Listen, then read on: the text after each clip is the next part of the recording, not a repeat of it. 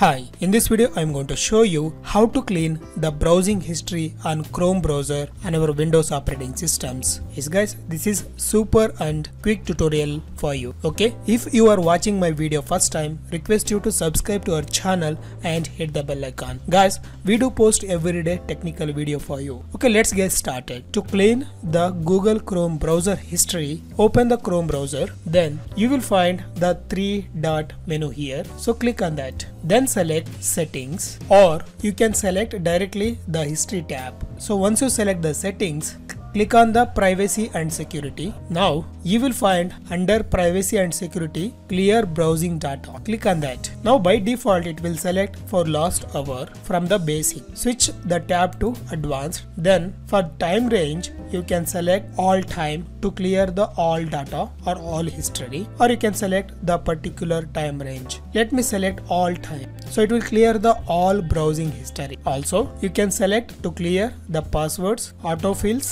site settings and more. So once you've done that, click on the clear data.